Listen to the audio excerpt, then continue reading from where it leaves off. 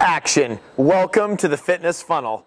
I don't know why I'm doing this with my hands, but welcome to the fitness funnel, ladies and gentlemen, where we funnel out all the junk in fitness and we bring you just the truth. Have you heard about this crazy thing? Have you heard about that people will go on vacation for a week or life will get crazy and they'll miss the gym for a week or two and they think all the results are gone?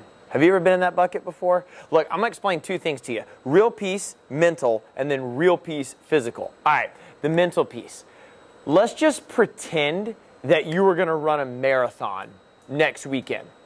If you were gonna run a marathon next weekend and you took the whole week off of activity and running to rest for the marathon, why would you show up on the marathon day and be like, heck yeah, I'm ready to go? And you felt great.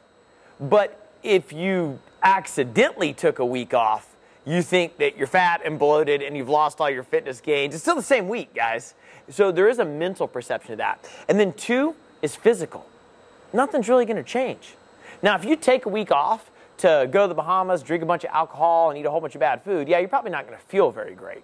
But your strength, your aerobic capacity, your endurance, it didn't go anywhere. In fact, you may even take the time off and come back and do better. Check that out. Your muscles might be so recovered that you come back and you lift stronger, you move better. I promise you, you did not lose all your fitness gains. It's more mental than it actually is physical. But let's say life really gets in the way.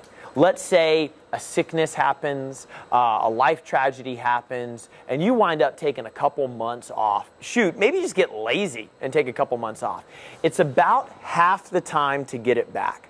So if you fall off the bandwagon for three months, you can expect it to take about six weeks for you to get it back. If you fall off the bandwagon for a month, you can expect two weeks. So usually half the time that you took off is how long it takes you to get it back.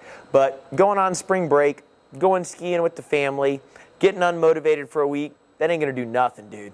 Check your mental state, make sure that you're all right, and then check yourself and say, look, I'm totally fine. I just need to get back in my routine. You are not gonna lose your fitness gains by missing a week at the gym. Welcome to uh, Fitness Funnel. Let's rock and roll.